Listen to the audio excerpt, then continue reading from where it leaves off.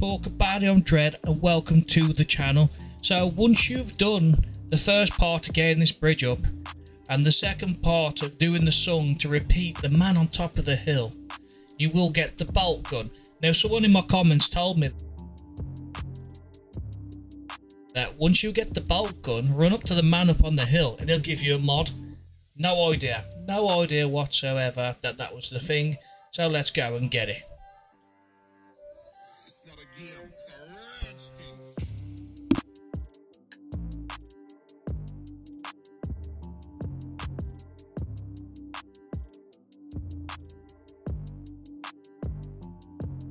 Right, he won't speak to me, so let's see if he speaks to my teammate and gives it him.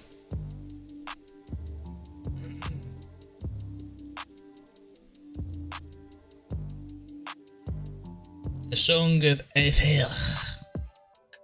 Come on then, give it us.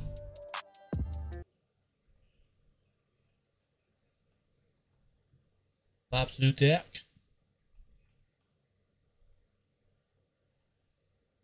There you go, the soul of binding.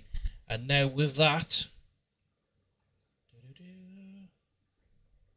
I got a ring from somewhere. The blaster ring.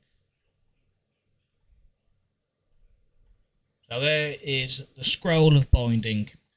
Let's go back to Ward 13 and see if we can craft it. I don't know if I've got the crystals, but let's see. so we've got the scrap and let's buy it. Talk to me, woman. Talk to me, woman. That's something I wish they'll do with these updates. So it's called the Song of Eafir. And with these updates, I hope they sort that out. Because that's doing my head in. Keep on having to go through a story just to buy stuff off the shops and stuff. But anywho. Where is it? Here we go. Let's go and test this bad girl out.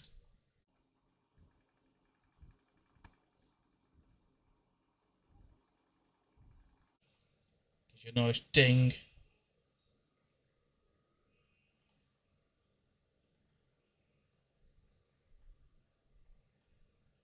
I mean, what does that do? It's like a homing beacon.